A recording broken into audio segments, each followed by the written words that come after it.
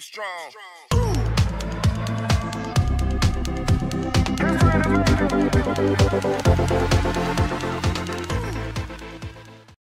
What's good, J2R family? We're back again with another reaction video for you guys. I'm Jeremiah. I'm Johnny. So today we are reacting to the Black Ops 6 teaser.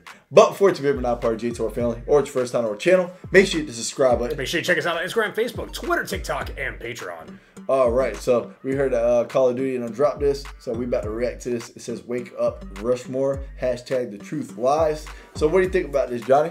I don't know. Hope, hopefully it's good, man. Uh, you know, hopefully hopefully they get together and they do what we want you know all the things we want they don't do all these like wonky things and you know make the game not what we want so hopefully they've listened to the community and they've put it in this game here and we get what we want i know it's just going to be a teaser so we're not going to know about any of that stuff but hopefully when the game comes out or you know we get more stuff as it goes we get stuff that we really want in the game and not just what they want to do with it I'm really hoping it's kind of similar to like Black Ops and Black Ops 2, to be honest, because those games were the fucking shit when they came out. I was super, uh, I was super happy with it, and then when Black Ops like three came out, I was like, eh, you know what I'm saying? But I guess we're gonna see what happens though. But we'll just hop straight into the video. let's do it It should wake him up.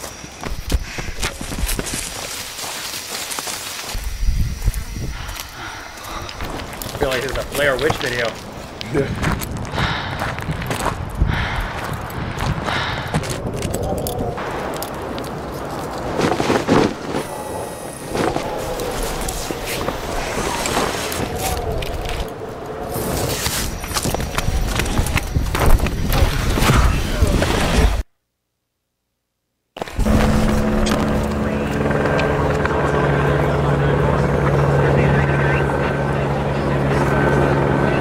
That's pretty fucking dope. What are those like the presidents? Yeah, What Mount did you start Rushmore.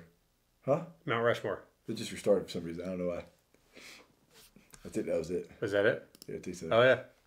That's it. That's it. You said it's Mount Rushmore? Yeah. Aren't those like the presidents? Like they're like uh. That are on Mount Rushmore, yeah. Okay, okay, okay. Uh, I wonder what that's about. You know what I'm saying? I have no fucking idea, but either way, man, that was a like little simple, quick video. You know what I mean? We didn't really get much out of that. I'm wondering like uh, exactly like why they were trying to like sneak over there and sit there and do that. You know what I mean?